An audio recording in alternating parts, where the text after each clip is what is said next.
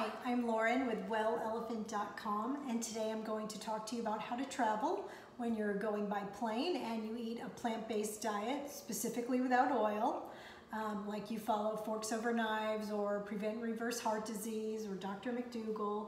So it makes it a little bit tricky uh, when you're out on the road without oil.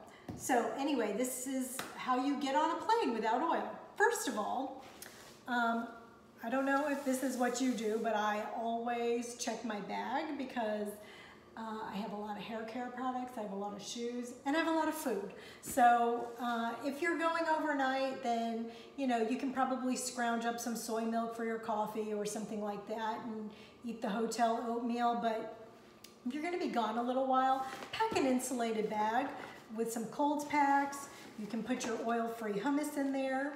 Cedars has an oil-free, fat-free hummus. It's okay. Homemade is better, but this is good, you know, in a pinch and to take on a trip with you.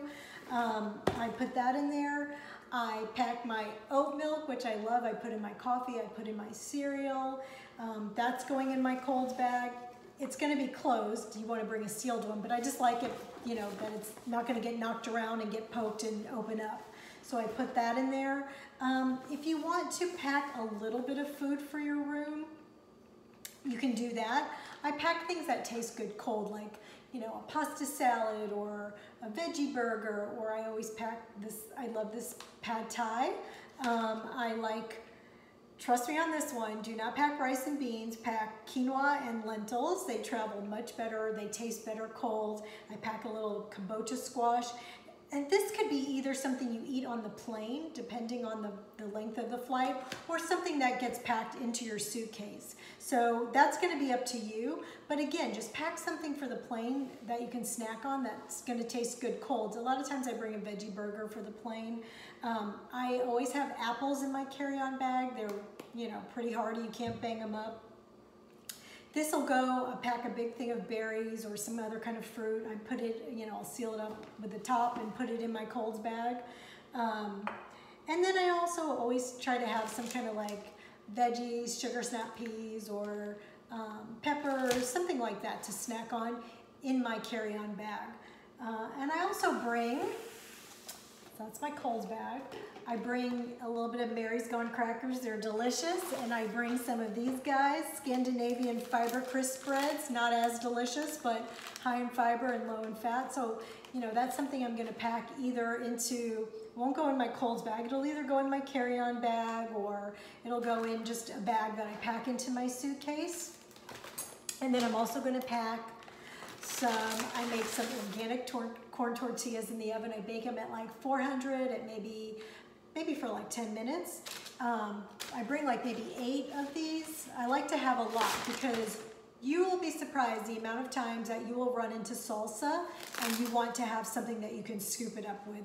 You're not gonna be able to eat the tortilla chips in the restaurant, so you wanna be prepared.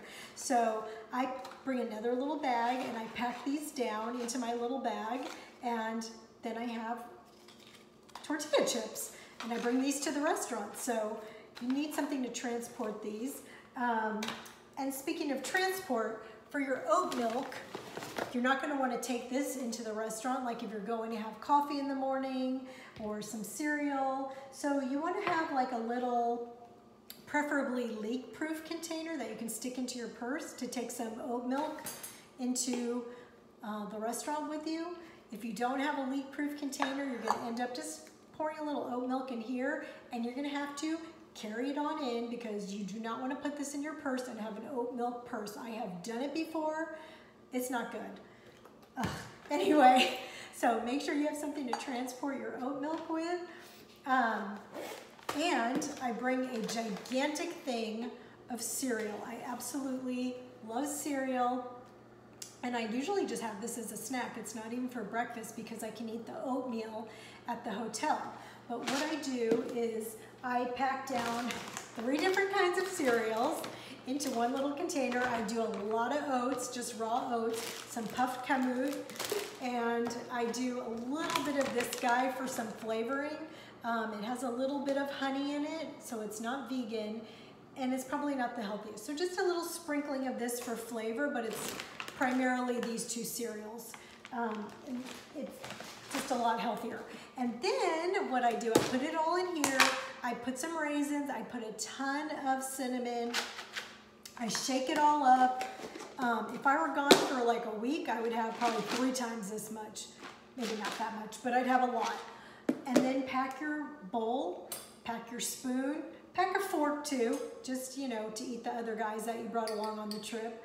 But make sure you're prepared with all that. And if you need a snack, you have this. If you need breakfast, you have that. You can put your berries in it. Um, so that's really it for flying on a plane. But make sure you have something good to eat. Make sure it's not smelly because you don't want to be one of those passengers where you open up your broccoli and everybody's like, oh my God, who farted? What's going on? You know, try to pack something that's, and I've done that before. It's, you, you really regret it.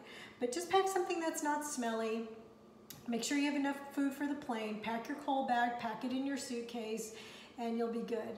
So I appreciate it. My name is Lauren. If you have any questions, if I didn't answer a question, please email me at Lauren, L-A-U-R-E-N, at wellelephant.com, and I promise I will email you back. And if you want to um, stay in touch with me, first of all, you can go to wellelephant.com and you can uh, download, I have a free three-day meal plan and grocery list. It's all plant-based, oil-free, and then you'll be added to my email list. And like every other week, probably, or every week, I'll email you a recipe or some kind of tip like this for eating oil-free, plant-based. And um, if you would do me a huge favor and like and share this video so other people who eat like us can have access to this information. It's really important to me to, um, to get that out there because I know it's hard for people to travel and to eat when you get away from home.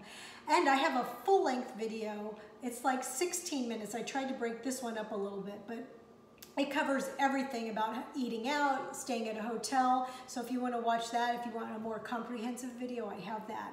But I really appreciate it, and I hope that you have a wonderful trip.